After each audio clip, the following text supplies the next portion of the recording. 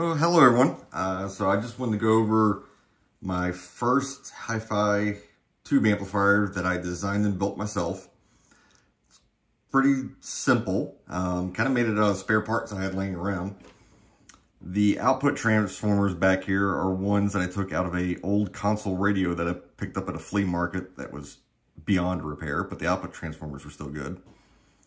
Uh, this power transformer is one I had for maybe a guitar amplifier project, uh, but I decided to use it for this as it fit the need pretty well. Um, chassis I ordered uh, with a nice walnut sides on here, volume control, switch. Uh, so we got can cap up here uh, for filtering, 5 AR4 rectifier tube, two uh, EL84s, and these are wired in triode. Normally, like a guitar amplifier, they'd be wired in pentode.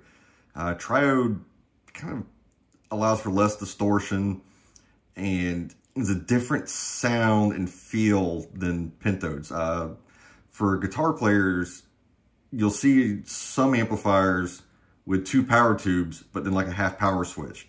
But that half power switch is really is going from pentode to triode, triode being the lower powered. And then up front, we have a 12AU7.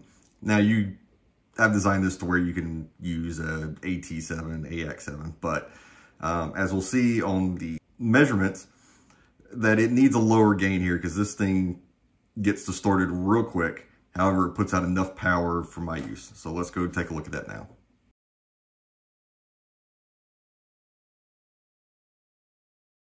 So we have the audio analyzer suite provided by the Stuff Made, uh, the creator who programmed this.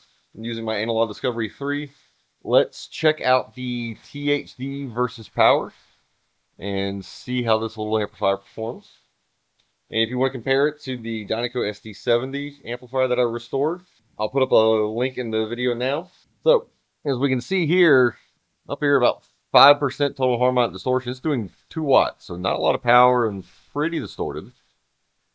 Down here at about 1% THD, it's doing a quarter of a watt. And I can tell you, with a good set of speakers, that is more than enough to fill a small to medium sized living room. Now, 1% distortion, you would think that might be a little too distorted, but about 1% is where people say it has a tube sound to it, where it's not clipping, but it's more rounded off.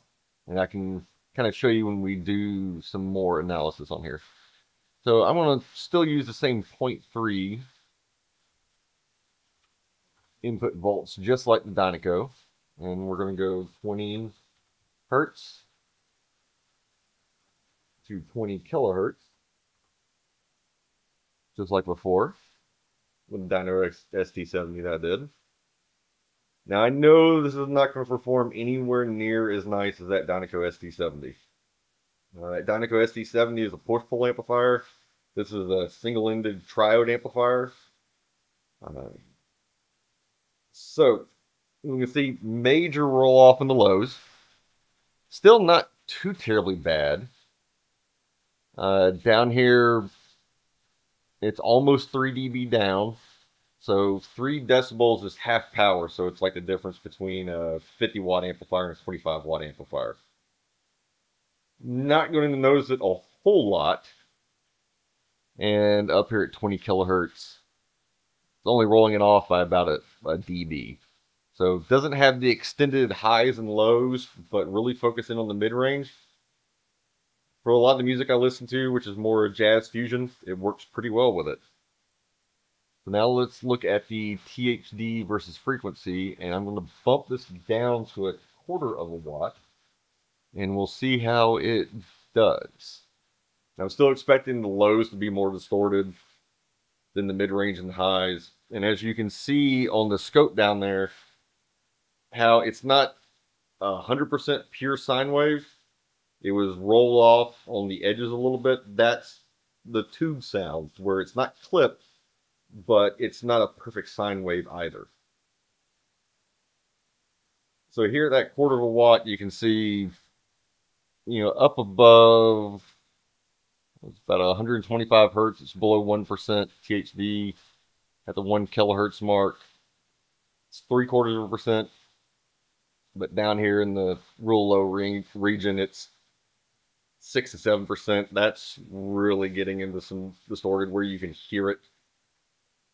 Uh, but as a for playing some jazz records, it's a great amplifier. And I wanted to build this before I get into my next hi-fi build, which will be a 300B. So stay tuned for that. Please like and subscribe.